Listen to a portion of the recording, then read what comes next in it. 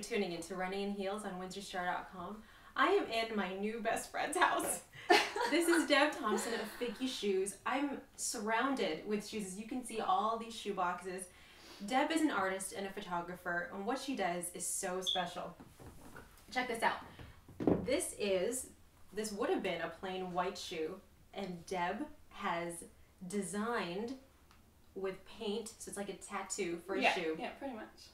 personal elements um, belonging to a couple who's getting married. This is a, a May 26th wedding, and um, this one doesn't have names, but you On, have. actually, on this one it does. oh, so when you the put other them- shoe. When you put them together, you have their names and their date. So a And then on personalized the heels, I do. Oh, sorry, the romantic in me is coming out.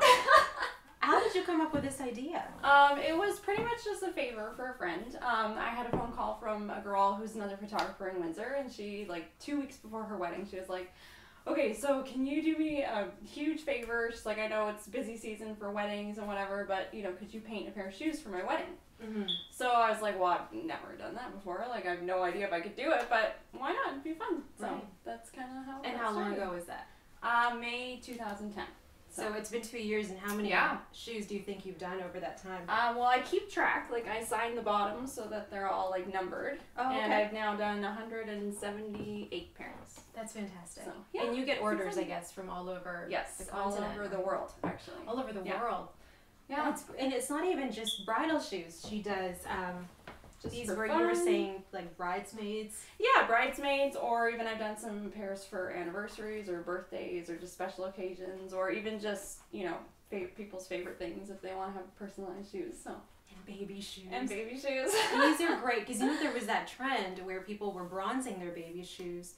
You have to do that. You Yeah, can- yeah. This one's for an Well, and these are these are fun too because the whole theme behind these shoes are his bedding. So they sent me photos of like their nursery set or whatever. So like the little stripes are from the little ruffle from the crib or whatever, and the little quote is from part of their whatever on the bedspread, and like the rocket ships are from the bedspread and everything. So it's all like it's still personalized. That's very though it's cute. baby stuff. I, know, I don't know if you can see that. It says "We love you" to the moon and back. So it's Yeah, very so very cute. sweet. You also do purses. Yes. Yep. Pretty much any accessories. Like there are some things that might not work because of fabric types, but um, like these especially, the leather finish is easy to paint. So. yeah, Other than leather finish, what's the best type of fabric to work with? Especially when it comes Um, to shoes, because they come in yeah, they come in every kind kinds of finish, pretty much. uh, textures. Um, pretty much any any shoe can be painted. Um, I've done suede, tons of satin because a lot of bridal shoes are satin. Um, these are satin as well. But um, like these shoes I'm wearing are patent leather, although these are a little bit more limited. up? Let's take that shoe off. Cinderella. yeah, exactly.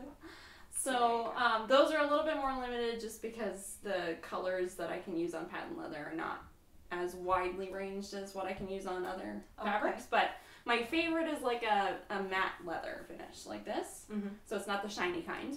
Um, and then probably second is satin. So Okay. But you Yeah. can work with anything. pretty much Should yeah. be a plain shoe though, right?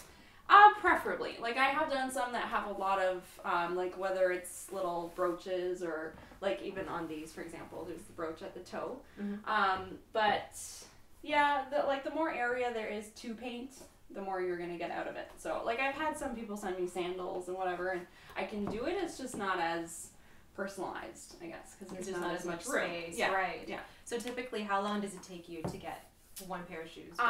Um, depends on the shoe, but at, on average about six to ten hours. So that's, that's amazing. And Yeah. you do it all in the studio. yes.